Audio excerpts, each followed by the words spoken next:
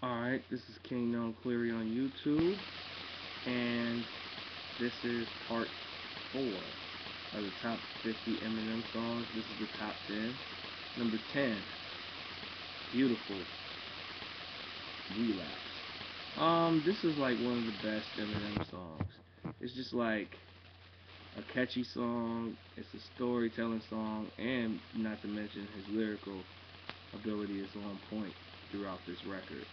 And it's just like one of those talk to the soul type of records. And, you know, it just definitely puts your mind in a daze once you hear Beautiful.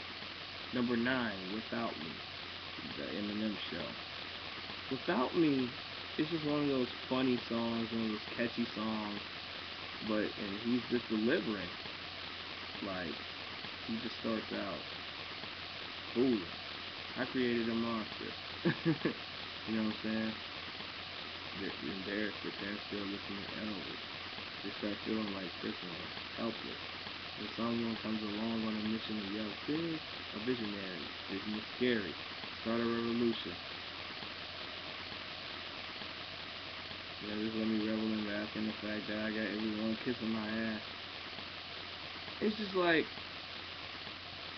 Eminem was took like a two year hiatus and we didn't know when he was going to come back.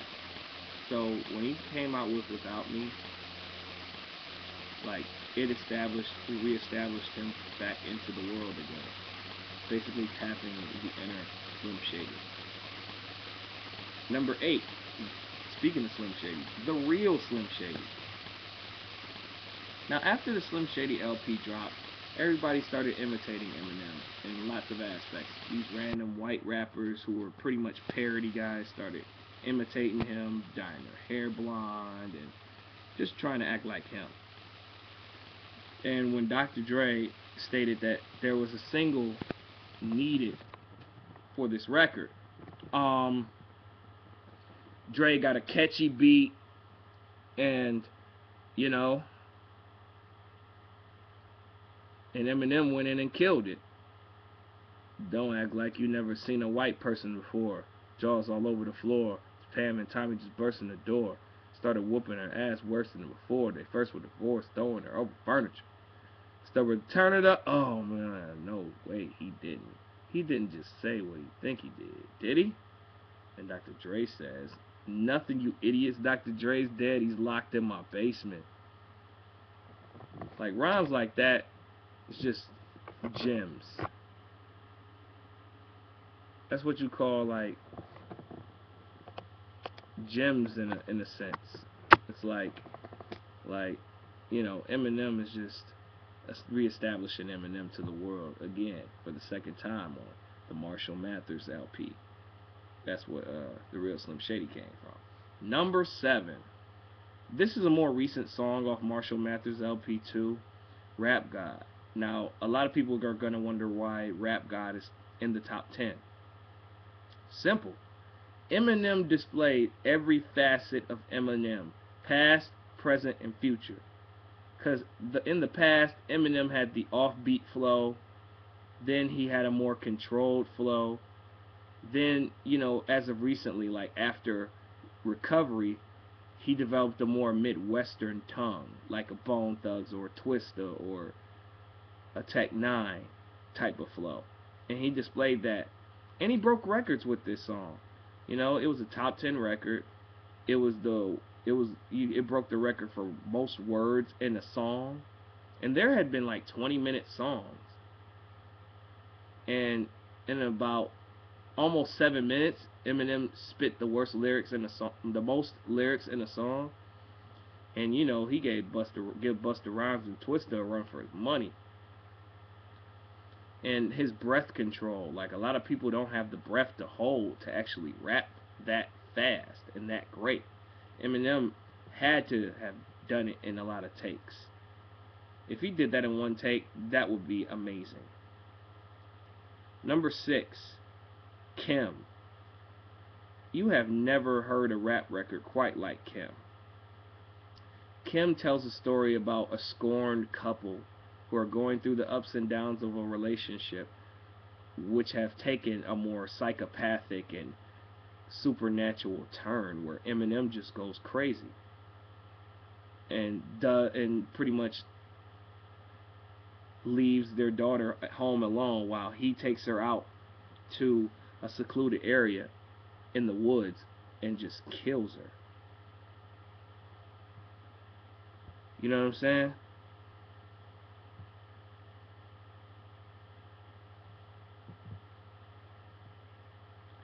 But anyway, like Kim is not a particular rap record. It sounds like something that you would hear like with death metal. And the funny part is dur during the, the, the, the storytelling, it sounds like and I mean he's rhyme he's rhyming. The nigga said, Shut up, bitch. You move again, I'll beat the shit out of you. Don't make me wake this baby. She don't need to see what I'm about to do. Quit crying, bitch. Why do you always make me shout at you? How could you just leave? Man, that nigga was going ham on that record. And it was just so fucking hilarious. Like, Eminem just goes in on that record. Number five, Stan. This is like one of the records that just put Eminem on the map as a household name. Like straight up. It put Eminem on the map because of the fact that you know it had the Dido sample, Thank You, and the 45 King produced it. It was for the Marshall Mathers LP. Kim was also on the Marshall Mathers LP. So Stan was just the makings of an obsessed fan because there are a lot of fans in the world that are crazy that will obsess over you. And I think it brought awareness to how close you keep your fans. You could ask Plies as of recently. Sipping tea right now. But anyway, Stan was just the, one of the most creative records. Like, he actually like was like writing a letter, and he and Eminem was rapping from a perspective of a crazy fan. That had never been done in hip hop. There has been like Dear Yvette. There's been like, you know, there's been stuff later on, but not to that degree, to where the story takes a crazy and nutty turn once Stan's letters aren't getting replied to. He just goes crazy, kidnaps his girlfriend, and kills himself and his girlfriend. While Eminem's writing a letter and watching the news at the same time, he realizes that it's just Stan who just killed himself. Number four, lose yourself. A lot of people are going to be disappointed in the position of lose yourself, but I'm going to explain why. Lose yourself is like one of those records that you, before you go out and play a game or something, before you go out and play and all that other stuff. You know, it's like workout music because it's a motivational song.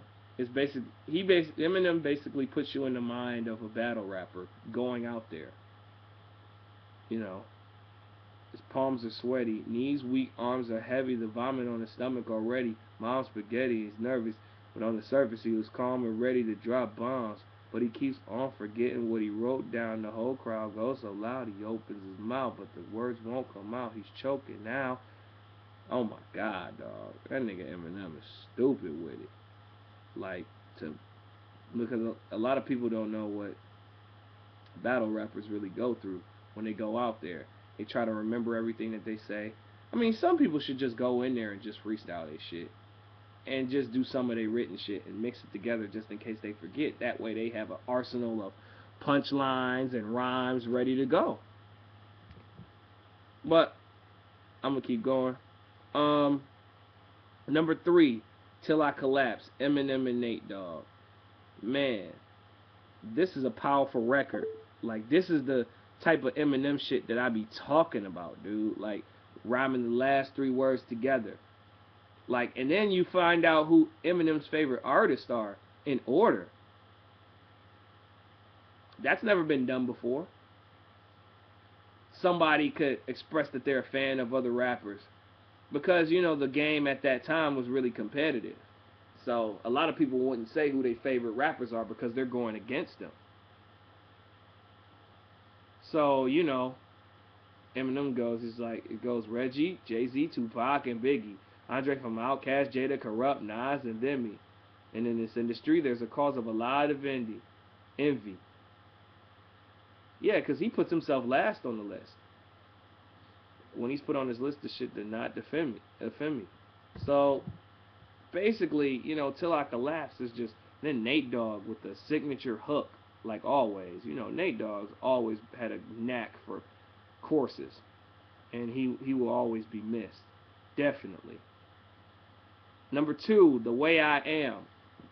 Like I said, lyrical cadence, um, haikus, rhythm, thought process, storytelling. I sit back in this pack, it's exact in this bag, it's weed, it gives me the shit needed to be the most meanest MC on this on this earth since his birth. I've been cursed with the curse to just curse and this blur bizarre and bizarre shit that works and sells and it hells and it. that dude was on some crazy shit, man, because Eminem produced that beat himself and developed that lyrical flow to it. You know, it's kind of like how Biggie does. Who the fuck is this? Paging me at 5:46 in the morning, crack of dawn. You know, Eminem did his interpret. I don't think he was trying to mock Biggie in a certain way, but I am whatever you say I am. And if I wasn't, then why would I say I am? In the paper, the news, every day I am. Radio won't even play my jam. It's just like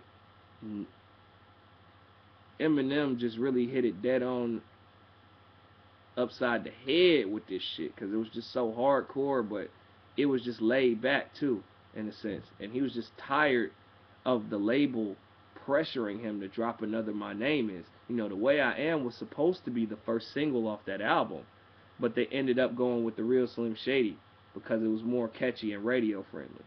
Number one, Kill You. Enough said. A lot of people are going to give me shit about it because they want Lose Yourself to be number one. Kill You's number one. It just starts off the Marshall Mathers LP. Just as, you know, The Way I Am, of course. Lose Yourself was on the 8 Mile soundtrack. Till I Collapse was on the Eminem show. But Kill You, when I was just a little baby boy, when I, my mama used to tell me the most crazy things, he used to tell me my daddy was an evil man. She used to tell me he hated me. But then I got a little bit older and I realized she was the crazy one. There was nothing I could do or say to try to change it because that's just the way she was. To that's the first track on an album. It's the first song on an album. That brings you in. Like they say I couldn't rap about being broke no more. They they ain't say I couldn't rap about coke no more. Slut, you think I won't choke no whore to the vocal cords don't work in his own no more? These motherfuckers are think that I'm playing, think that I'm saying the shit to be thinking it just to be saying it. Uh, close, uh, man, that nigga just is amazing. Overall, I think this list serves justice. I mean, if you disagree, you're always welcome to leave comments on my Facebook page, comments on my YouTube page. It's whatever, but that's my top 50. Thank you very much. Have a nice day.